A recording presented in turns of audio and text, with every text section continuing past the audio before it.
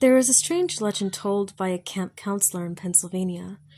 It involves a beat up old shack just along the route of 78 or the Pennsylvania Turnpike. In that very house, many years ago, a baby was born. His parents were mean and abusive, and they kept him locked up in the basement. As the child grew older, they never let him out. He was deprived of sunlight, food, and all the basic needs of a normal human being. The only thing they gave him to eat was watermelon. Every few days, his parents would open up the basement door and toss a watermelon down the stairs. He survived for years and years on nothing but watermelon seeds and rinds. Now, this watermelon baby still resides alone in that decrepit old shack where he grew up. It is visible from the highway, but the watermelon baby does not welcome visitors. Occasionally, travelers passing by will notice a dim light flickering in the window of the unstable home.